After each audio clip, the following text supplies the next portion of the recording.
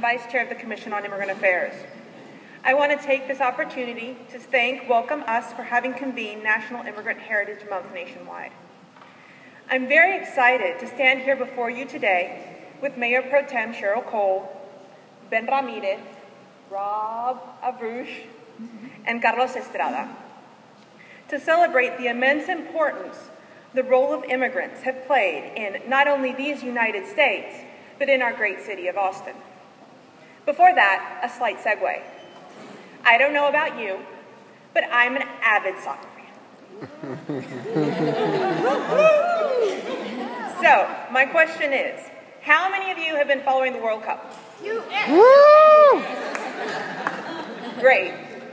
So, now, Tim Howard, Jozy Altidore, Jermaine Jones, Fabian Johnson, Omar Gonzalez, Alejandro Bedoya, Mix Diskerud, Aron Johannsson, Timmy Chandler, Julian Green, John Brooks.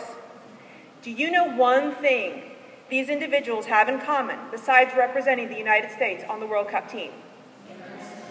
Exactly, their immigrant heritage. Truth be told, the United States could field an entire starting lineup of players who are foreign born or first generation immigrants.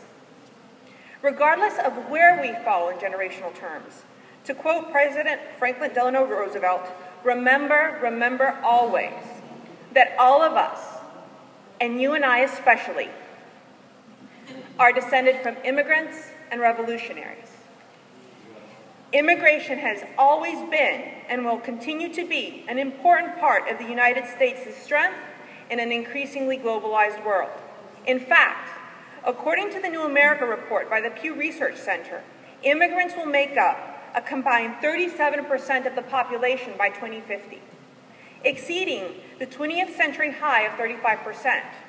In Austin, we are more than halfway there, with 19% of our residents being foreign born. From the wealth of cultures, traditions, and peoples that make up the fabric of our city, we derive a unique perspective of ourselves, our communities, and the world. Through the exchange of information and knowledge, we become better versions of who we are.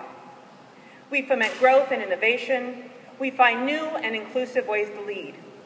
Thank you to Mayor Leffingwell and the City Council for having recognized this, not only by proclaiming June Immigrant Heritage Month, but by having declared Austin a welcoming city and taking the steps to make this a reality as well. Thank you for joining us in this celebration, a celebration of us.